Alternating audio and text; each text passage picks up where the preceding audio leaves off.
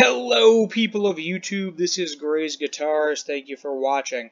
If you're a Kirk Hammett fan, well, I have some good news for you. If you don't want to drop three grand or thirty-one hundred dollars, yours is at thirty-two, somewhere around thirty-one, thirty-two hundred dollars on a Greeny Les Paul Standard, and if you don't want to drop twenty thousand dollars on the fancy one, uh, you can get the pickups for three hundred dollars. Now, I know what you're saying. Three hundred dollars for pickups that seems a little much, and I agree with you. I agree with you. It does seem a little bit much for pickups, but comparing it to the price of the guitar, significantly less expensive if you want to take these pickups and throw them in something you've been wanting to switch the pickups out on. You know, we switch them back later on, keep the pickups, use them for something else. But uh, Holy Grail Greeny Tone from any Les Paul. Gibson just made the Greeny Bucker pickups available as a standalone set for the first time. Previously available only in Kirk Hammett's USA Greeny signature model. These 299 humbuckers were made in collaboration with the Metallica Man and in consultation with the actual PAF specs. Uh, are they going to put these in, in, an Epiphone?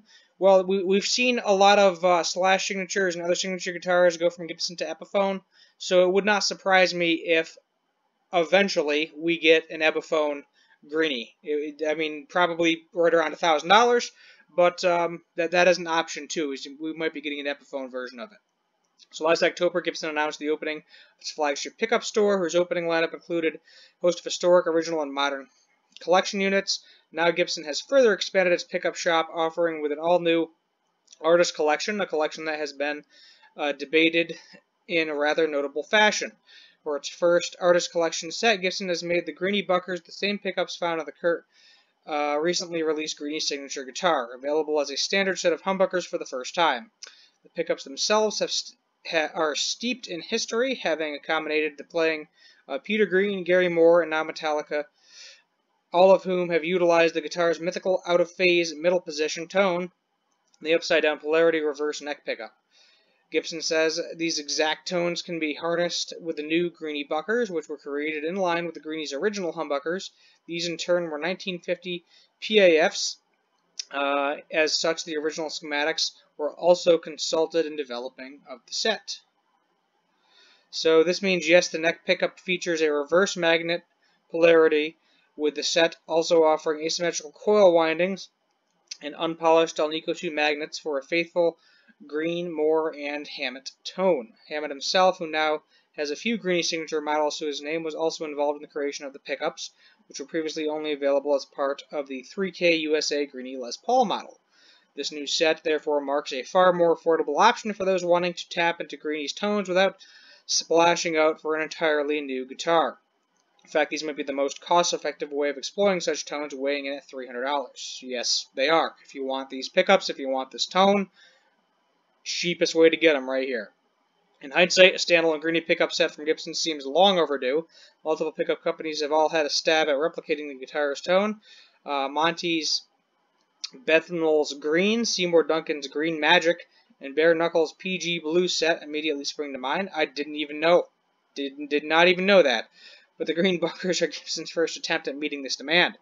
Gibson PAF's uh, pickups from 1950 are considered by many musicians to be the holy grail of vintage electric guitar pickups. Yes, they are, because I think a pickup, uh, an original PAF, I think sells for like five grand or something ridiculous. Gibson around his website, along with him, the unique set that was installed in the legendary Greeny Les Paul are some of the most famous. Head over Gibson to find out more, and we will.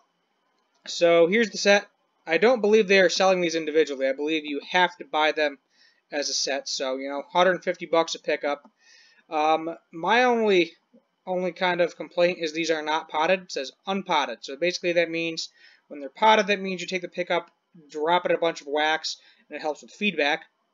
But um, that's not how they did it back in the day. Uh, so you may get more feedback out of these. But I, you could theoretically pot them yourself, but at the same time, it's not going to sound the same if you do so. So keep that in mind. So we have the rhythm treble set of two, the Alnico two, uh, two conductor wires, so you are not able to split these. So if you are interested in, hey, it would be even cooler if I could take the Greeny pickups and coil split them, coil tap them, you know, whatever, phase switch them, not going to ha happen, not, not with these. So unpotted, double black bobbin, so that means if you take the pickup covers off, they're going to be solid black pickups, no cream, no white.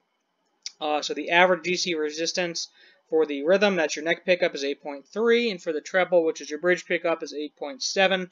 Yeah, standard standard range there. It's featured on the Gibson USA Kirk Hammett Greeny, developed Kirk Hammett guidance with specs taken from the actual PAFs of the Greeny Les Paul. The rhythm pickup features reverse magnetic polarity for the signature Greeny sound. Now, obviously, they're going to have a premium on them a little bit, but uh, it's not really too much of a premium. So, you know, Gibson pickups, I think, let's see here if I do shop new arrivals.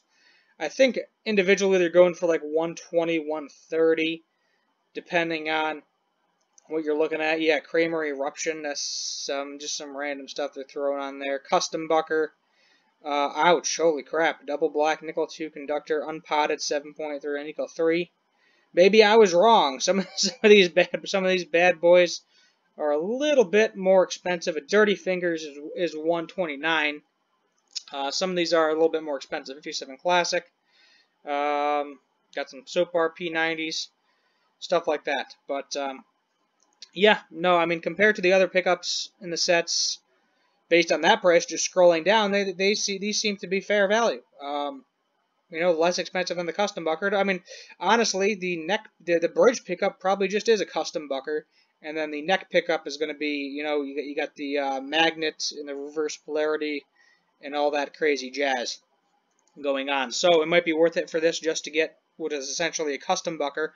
Um, in the bridge position. I know it's not technically a custom bucker, but uh, it's probably really, really close. But uh, yeah, let me know what you think of these pickups. I think this is a cool way to get it in a cheaper guitar. You know, maybe you have an old Epiphone lying around, you want to get rid of the pickups in it. These might be a good replacement uh, if that's the sound you're after. Um, not really any major complaints. I, I understand there's going to be a little bit of a premium on them. Uh, all I can say is if you're interested in actually getting an Epiphone version of Greeny, maybe hold off on buying these. You know, if you're if you're like, okay, you know, 300 bucks, that's fine. I don't want to spend a thousand dollars on an Epiphone guitar. By all means, you know, pay for these. But uh, other than that, I would hold off and wait for the actual Epiphone version to come out because I'm almost guaranteeing that there will be one in the future. Uh, other than that, thank you for watching. Hit that subscribe button on the way out, and as always, have a good one.